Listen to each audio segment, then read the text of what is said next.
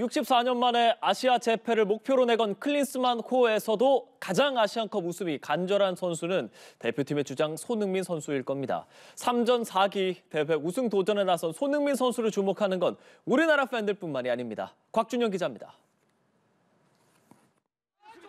그물이 찢어질 듯한 슈팅으로 득점에 성공한 뒤 수줍게 두 손 하트를 그리는 앳된 얼굴의 태극전사.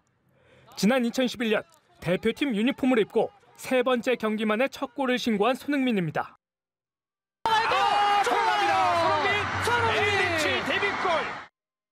공교롭게도 13년 전 인도를 상대로 데뷔골을 쏘아 올린 이 경기는 카타르 아시안컵 대회였습니다.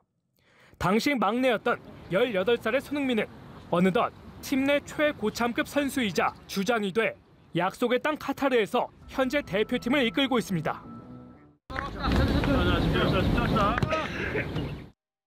손흥민은 첫 아시안컵인 2011년 카타르 대회를 비롯해 호주와 아랍에미레이트 대회까지 우승컵을 들어올리는 데 실패했습니다. 벌써 네 번째네. 잘해야죠. 저희는 잘 준비할 테니 팬분들은 열심히 응원해 주시면 감사하겠습니다.